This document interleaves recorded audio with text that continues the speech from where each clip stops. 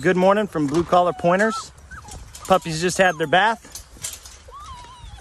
yeah, what's up, puppies? And uh, it's chow time. So we've got them on Purina Pro Plan Puppy Chow. It's a chicken and rice formula. Um, and then obviously it's got a bunch of other nutrients that are good for puppies in their growing phase.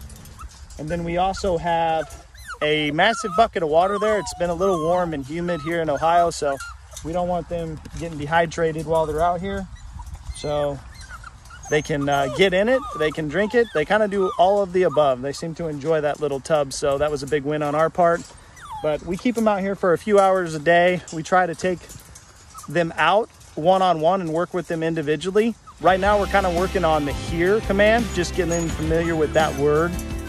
So, and, and them associating that with come here, right?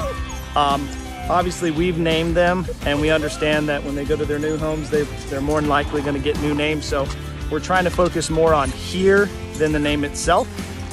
And um, we also try to feed them and then bring them out here as well when we have the opportunity to, just to try to help them understand that they need to go to the bathroom out here. So trying to make it easier for when they go home and, and they're trying to trying to potty train these puppies. So